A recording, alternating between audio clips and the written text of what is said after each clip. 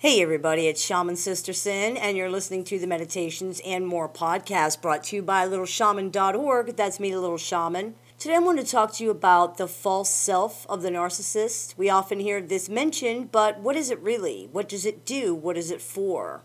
The overwhelming majority of pathologically narcissistic people are the adult victims of childhood abuse, often from a narcissistic parent. And by the way, overindulgence and spoiling is abuse.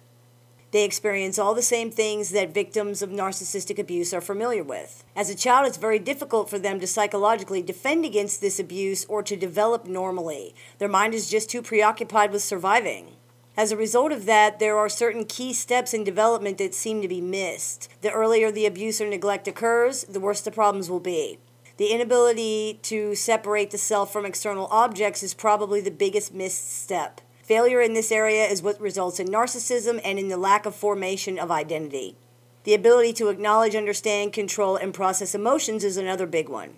Empathy is not nurtured and doesn't develop. Healthy boundaries don't form. There are problems with schema and object permanence. Basically, we could say their mind does not develop beyond the emotional equivalent of a toddler. They cannot handle their own emotions, they cannot tolerate frustration, and they believe that their well being is the responsibility of other people. It's very like the way toddlers are. It's the parent's job to assume responsibility for the toddler's emotions and emotional well being because a child that young can't do it themselves. It's the parent's job to soothe and comfort the baby because the baby can't comfort or soothe themselves. Pathologically narcissistic people cannot do this either. They have primitive defense mechanisms in place instead.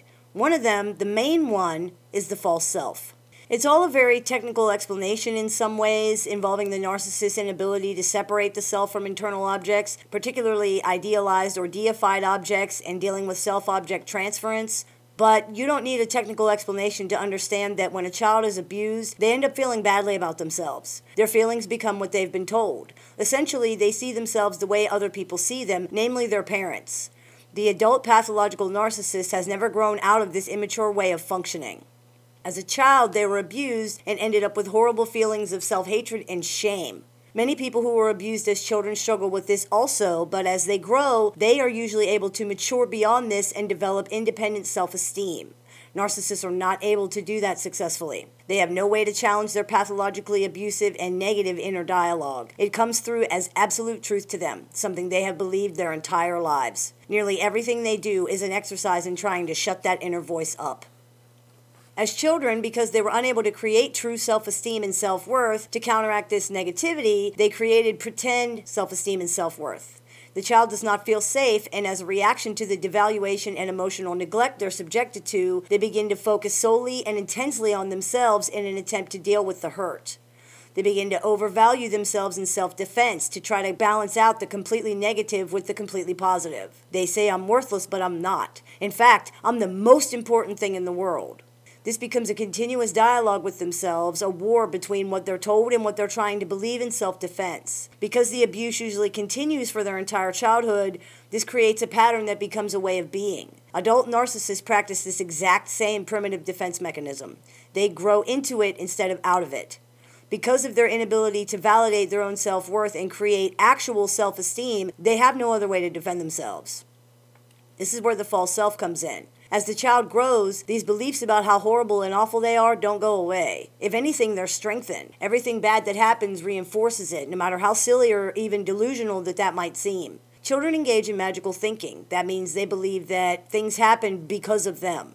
Most children grow out of this when they mature, but people who are pathologically narcissistic do not. Even as adults, they still believe everything happens because of them or what they believe or something they did. The pre narcissistic child wants what all children want to be loved, to be accepted, to be liked and valued. They find that they cannot achieve these things in their home, and since the parents are idealized, the child believes it's not the parents who are wrong or defective, but that they themselves are. In the movie The Crow, the main character said, Mother is the name for God in the lips and hearts of little children. This is actually a quote from Thackeray, a British novelist and author, but regardless of where you heard it, it remains true. Parents are seen as perfect and infallible to small children, so if there's a failing, the child will perceive it to be on their own part. If your parents don't love you, you must be very vile. Something must be really wrong with you. This is what the child believes. Because of this, and because they lack a true identity, the child creates a mask that they believe is all the things they are not. This is who they will attempt to present themselves as in order to receive the things they are desperately seeking from other people. It becomes a way of being, a way to circumvent their inability to achieve what they need. No one will love them as they are. They're too horrible, too disgusting, too despicable. But if they can hide that, they might have a chance. Thus, the false self is born. This is who you met when you met the narcissist. This is who shows up in public or with people that don't know the narcissist very well. This is who you spent all your time chasing, trying to find. That's who you were talking about. A mask. It's a person that doesn't exist. Once you see behind that, the narcissist knows the jig is up and they believe they'll be abandoned, even if you don't really understand that what you saw behind was a mask. They feel betrayed and angry. Remember, the false self is not a performance for you or any other people. The false self is for the narcissist. It's the narcissist's protection against their own feelings. Is their way of trying to walk the walk and convince themselves once and for all that they're not all the horrible things they believe themselves to be. They need you to believe it because that helps them believe it. They also believe they will not receive the things they need from people unless they are a good person. This probably goes back to their belief that they were not nurtured or loved by their parents because they could never be good enough. Unfortunately, their definition of a good person is totally unreasonable and they can never achieve it. Everybody makes mistakes, everybody has flaws, nobody's perfect. Because of how they were raised, pathologically narcissistic people believe, as all victims of narcissistic abuse are told, that being a regular human being is wrong and not good enough. Can't have feelings, can't have needs, can't make mistakes, can't have any flaws. Any failure to adhere to this ridiculous belief is seen as an enormous failure on their part. Even small or unimportant mistakes cause the narcissist's negative feelings to pour through and crack their false facade in half. Their feelings overwhelm them, and this is when they engage in abuse, projection, gaslighting, manipulation, and all manner of things designed to help them deny to themselves that they did anything which proved they weren't perfect and therefore not a good person. The biggest problem with the false self is that the narcissist knows it's not real.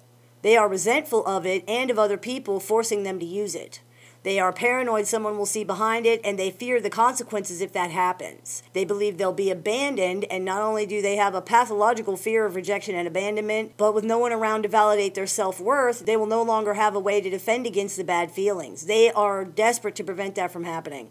That's why a lot of their abuse and manipulation is designed to divert other people's attention away from the narcissist and onto themselves. It's a way of saying, hey, don't look over here, look over there.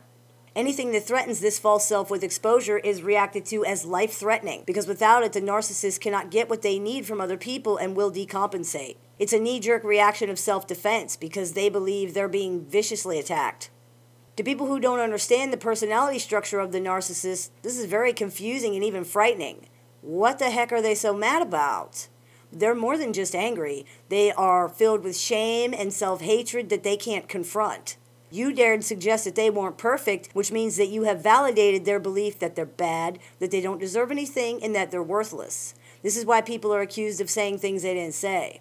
So you might say, hey, you forgot to take the trash out again. Then they say, that doesn't make me less than you, but you're right, I'm a loser and I never do anything right.